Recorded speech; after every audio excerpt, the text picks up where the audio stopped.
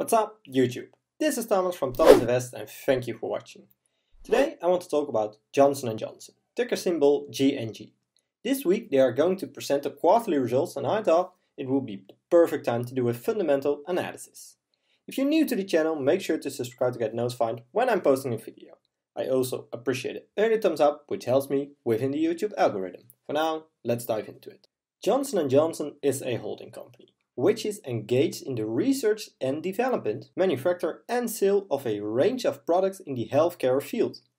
It operates through three segments, consumer, pharmaceutical and medical devices. Its primary focus is products related to human health and well-being. Now that we know what Johnson & Johnson does, it's time to do a fundamental analysis, starting off with the PE ratio. Johnson & Johnson has a PE ratio of 29. For such a big company, I think this is too high, so it's a red X. In a moment, we will see the growth potential, which tells me why the PE is too high. The profit margin is at 18%. This is very nice and consistent over the past years, so it's a big check. I want this number above 10%, so they do a good job. Since 2016, the revenue is up 17%, so this means a big check again. They grew at 4% annually in the past 5 years. This is not a lot, so keep that in mind. Since 2016, the profit is down 4%, so it's a red X. Margins were a bit better back then. This might be something to do some more research about. Return on assets is below 10% in the past 5 years. Return on investments is above 10% in the past 5 years. But in my opinion, it's still a red X, because the return on assets are below 10%. Johnson & Johnson is buying back shares. Not by a lot, just 3% in the past 5 years, but it's a. I think big companies like Johnson & Johnson always should buy back their shares, to reward the investor. With the current ratio, you want to check if the company is capable of paying the current liabilities with the current assets. You want this number sitting at 2 where 1.5 is the absolute minimum. At this moment, Johnson & Johnson have a current ratio of 1.28. This is below my minimum, so it's a red X. But I have to admit that I don't bother that much right now.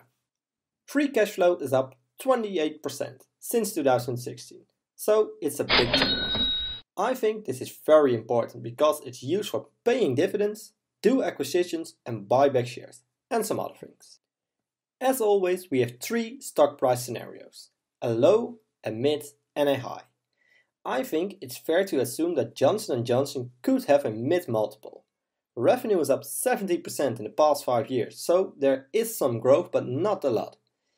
If we use this mid multiple, Johnson & Johnson is overvalued by 15% and the fair stock price would be around $140 instead of $168.